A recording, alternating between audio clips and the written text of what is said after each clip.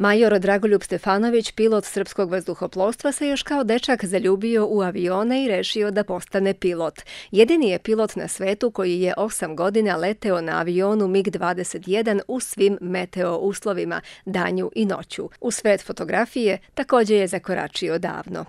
E, I moj tata i moj stric su bili bukvalno zaluđeni sa crno-belom fotografijom. Ja sam prve korake u fotografiji naučio od njih isto kao kadete prohoda, e, tako sam sa njima učio kako se fotografiše, podešava ekspozicija, otvor blende i ostalo. A isto tako negde u približno isto vreme se rodila ljubav i prema letenju.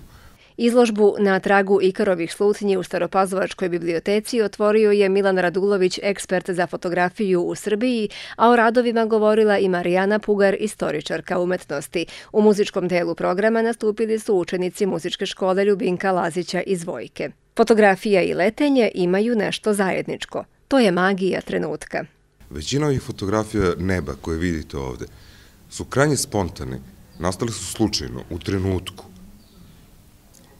dešavalo se za neke od njih da sam jednostavno stao, izašao iz automobila i napravio fotografiju s kojom sam bio prezadovoljan. A upravo to je to, magija trenutka, to je magija fotografije. A isto to važi i za letenje. I letenje je magija trenutka. Vi u trenutku morate da donesete pet, šest odluka i sve moraju da budu ispravne. Nemate pravo na grešku.